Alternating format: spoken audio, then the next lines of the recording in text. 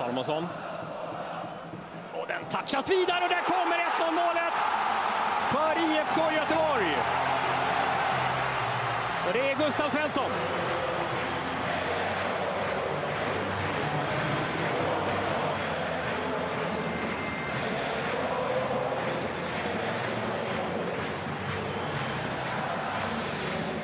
Vart tar den lyftningen vägen? Berg omkull och så får Berg tillbaka bollen och kan skjuta på volley.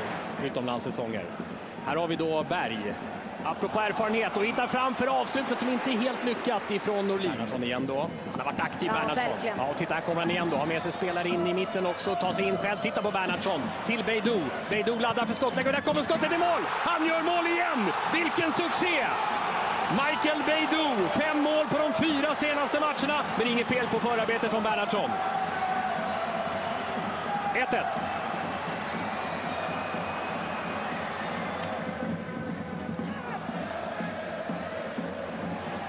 Notern mm, får inte ordning på bollen och då kan den skottet komma returen kommer Alm och det är mål! Rasmus Alm på returen! Och det är 2-1 för Elfsborg. I första läget som återigen ett jättebra avslut av eh, Bernhardsson. Vi börjar bli tjatiga, så jag vet inte om det är han eller... Nej, det är han. Jag tror det det är han som eh, Ja. stöter in den i eget mål. Absolut att det är Alm som är där och attackerar och jobbar mot den. Trafiken tätnar och här kommer Johan Larsson. Och det där läget som han räddar. Strand. Ja, titta! Och returen! Det blir Salomonssons högerfot. Och där inne. Ja, titta på Berg! Den- det är handen som är på... Nej, den går rakt i bröstet. Och även om han ska träffa lite- hand, handen som är på backen så är det ju inte hans. Men det kan vara frispark också, eller straff såklart. Nu ska vi se, nu är det rött kort här. Nu är det rött kort. Situationen här, vi ska se. Kolla Berg. Där borta, ni ser längst ut till vänster. Han skriker någonting till Kristoffer Karlsson.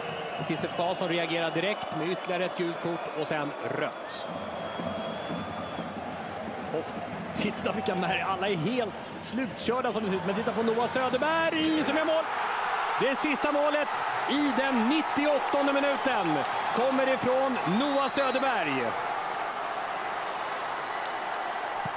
Som gör sitt andra allsvenska mål i karriären och han gör det de sista vibrerande sekunderna i det som var en, eh, ja, en riktig kraftmätning mellan de här båda lagen. Ja, och du var inne på det. Alltså, de, de går ju på knäna varenda spelare där ute och det är det Förlusten och dessutom med, eh, som de uppfattar det, inte minst Göteborgssupportrarna, väldigt tuffa domslut emot sig.